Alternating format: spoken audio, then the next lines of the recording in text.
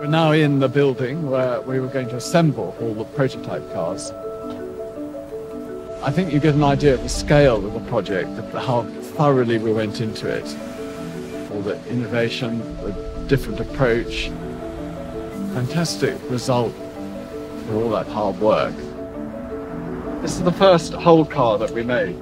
It had a lot of interesting features. For example, no door handles. You slipped your hand under here to open the door.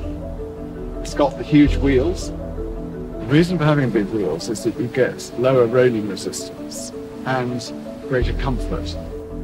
The other interesting thing is the windscreen. It's an incredibly shallow angle. It's all about the interior and the climate inside. So we did the heating and cooling by other means. Here's the charge point. Oh, and all the controls are on the steering wheel.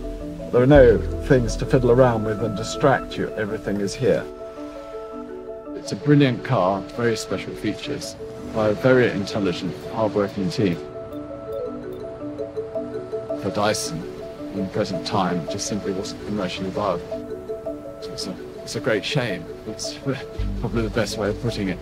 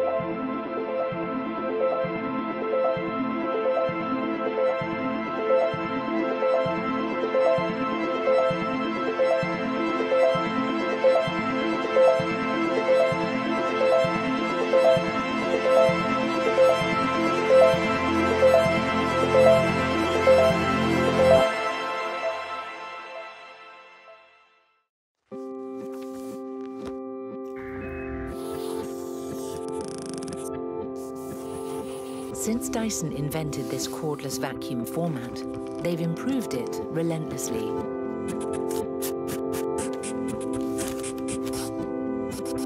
Today, this hyperdymium motor spins up to 125,000 RPM to deliver twice the suction of any cordless vacuum. Carbon fiber filaments and a motor inside the brush bar capture the finest dust. Now, dynamic load sensing intelligently senses different floor types and automatically adapts suction power to optimize cleaning and runtime for the deepest cleaning everywhere. Pioneered and patented, only a Dyson works like a Dyson. Now also available in larger format.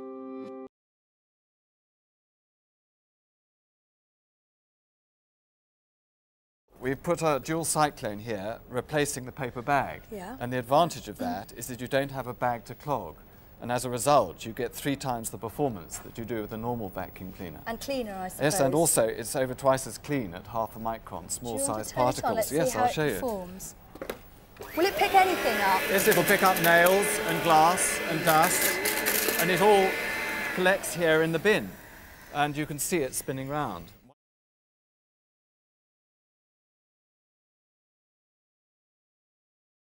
Now, a lot of people think that diesel is better for the environment than petrol. In actual fact, it's not.